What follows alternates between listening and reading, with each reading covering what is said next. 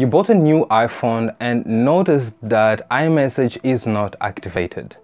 You don't have that blue text bubbles when exchanging message with other iPhones. Don't worry, in this video I'm going to show you how to activate iMessage.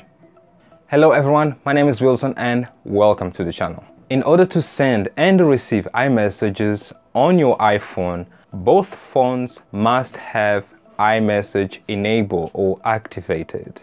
By doing this, you will be associating your phone number to your email. Use it to open your Apple ID or iCloud account. This will allow you to send and receive blue text bubbles when exchanging or chatting with someone else with iPhone, iPad or Mac users. When iMessage is enabled, messages are sent using Wi-Fi connection or cellular data connection. So make sure that when you are enable iMessages, you have internet connection on your phone. So without further ado, let me show you how to enable iMessage. On your iPhone device, before you do anything else, make sure that you have internet connection.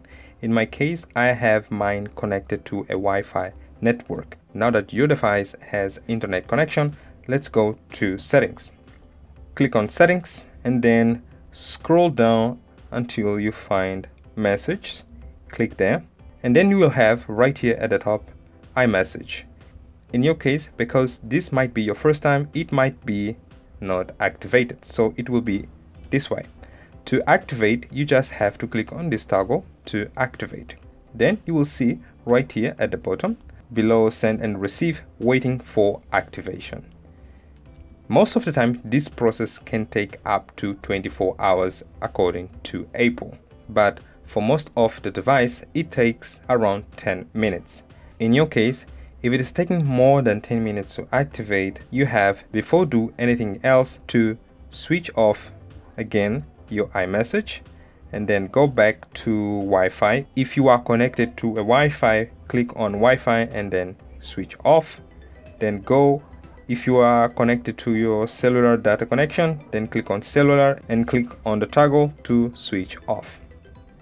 Now that we have done that, wait for 5 seconds and then depending on where you are going to get your internet connection, click on Wi-Fi or cellular. In my case, I have access to a Wi-Fi, so I'm going to switch on the Wi-Fi to connect it. Now that it is connected to a Wi-Fi, I'm going back to messages click on messages and click on iMessage toggle to enable it. Now right here you can see below send and receive waiting for activation. It should take less than 10 minutes to activate so let's wait and see.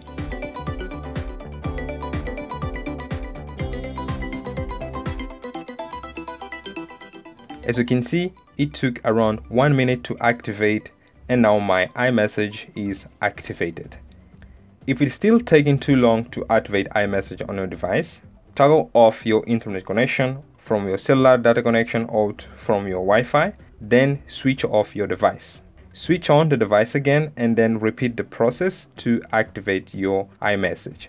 Following this procedure will definitely activate iMessage on your device. Well everyone, that's all for this video. If you manage to activate iMessage on your iPhone, let me know in the comment section. Or if you found any issue during this process, also let me know in the comment section. I'll do my best to respond and help you solve any issue. That's all for this video everyone. If you learned something, don't forget, subscribe, give a like, share it, and I'll see you in the next one.